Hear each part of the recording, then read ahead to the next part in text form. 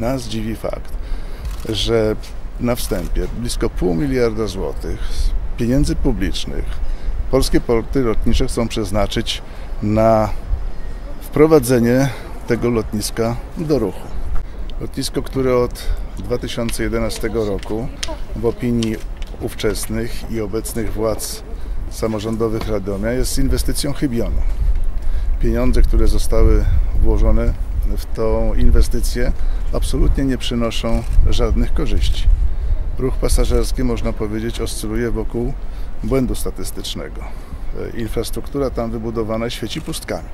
Mało tego, złożony wniosek do sądu upadłość niebawem zostanie rozpatrzony i upadłość nastąpi. Nie możemy zapomnieć, że na terenie województwa mazowieckiego funkcjonuje lotnisko w Modlinie.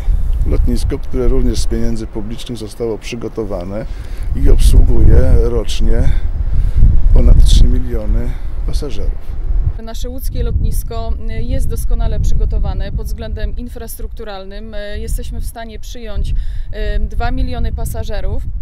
Ale również to kwestia istotna i znacząca, o której mówią y, eksperci rynku lotniczego, że nasze łódzkie lotnisko już dzisiaj może przyjąć samoloty przewoźników czarterowych, ale również tanich linii lotniczych, czego dzisiaj nie ma lotnisko w Radomiu.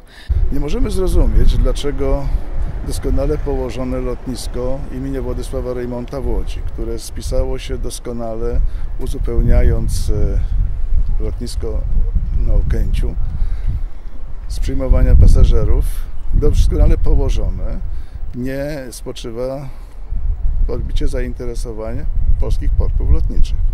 Alarmujemy, że rząd Prawa i Sprawiedliwości poprzez decyzję również w Radomiu próbuje wyrzucić w błoto ponad 350 milionów złotych, bo dzisiaj o takiej wstępnej kwocie jest mowa, która ma być wpompowana w radomskie lotnisko, żeby od 2020 roku to lotnisko mogło funkcjonować. Pytamy, dlaczego się tak dzieje. Co lub kto wpływa na decyzję, że pół miliarda polskich złotych z podatków przede wszystkim nas, Polaków.